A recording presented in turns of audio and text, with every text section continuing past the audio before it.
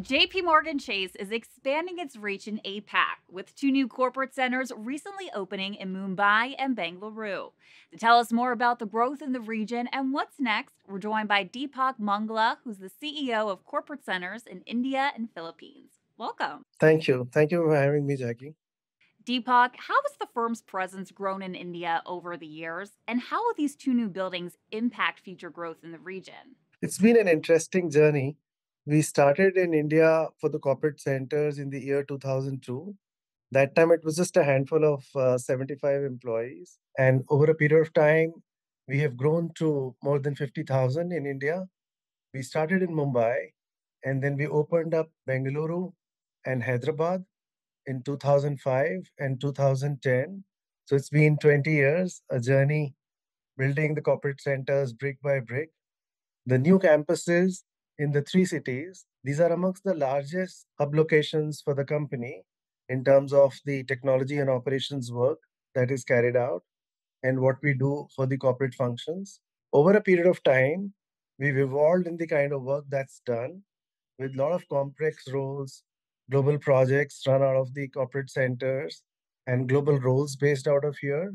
So the whole value chain has grown, and we have great talent that we have hired in the region talent for technology, finance, and operations that we get here, which creates great value for the firm. The two new corporate centers in Bangalore and Mumbai are both considered workplaces of the future. Can you tell us what that means and what some of the unique features in these buildings are? These are big campuses. We are trying to consolidate our presence in each city. So we were fragmented across the city and we are bringing it together. So the Mumbai campus is 1.16 million square feet, and it's a part of a big knowledge park called the Nirlon Knowledge Park. Similarly, the Bengaluru Corporate Center is 1.12 million and is a part of something called Embassy Tech Village. And both these campuses will have more than 12 to 13,000 people working out of these campuses. And we worked on a couple of pillars as we built out these campuses around technology and this was all around well being, sustainability, and collaboration. We wanted to support the work life balance and a sense of community. So, what we created was very lot of open spaces, varied options, big cafeterias, and we've achieved the LEED gold standards for these buildings. And I'm proud to say that these buildings are powered by 100% renewable energy. So these are really workplaces of the future. So, what impact will some of these new features have on employee productivity?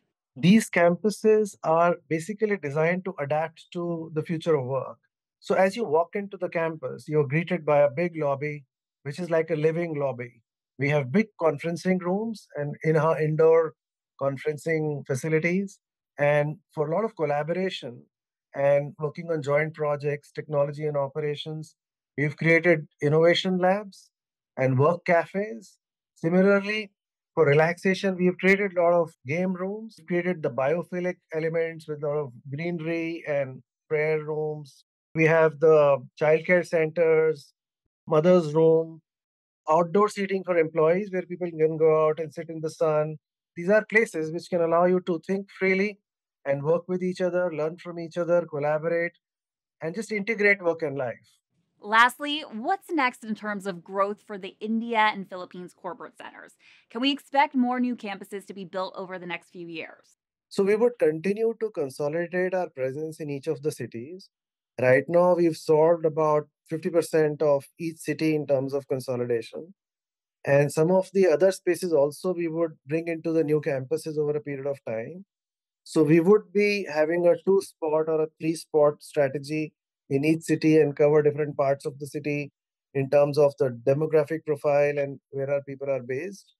And we would build more similar campuses over the next five years in Mumbai, Bangalore, Manila, and Cebu for now to complete our consolidation and take care of some of the growth that we envisage in the future.